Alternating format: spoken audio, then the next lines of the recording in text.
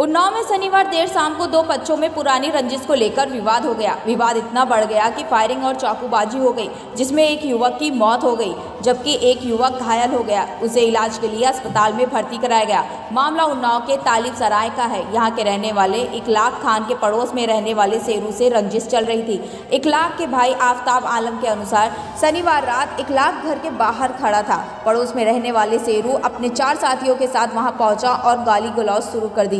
विरोध करने पर उसने तमंचे से गोली मार दी। कमर में गोली लगते ही वह चीख पड़ा और सेरू से भिड़ गया।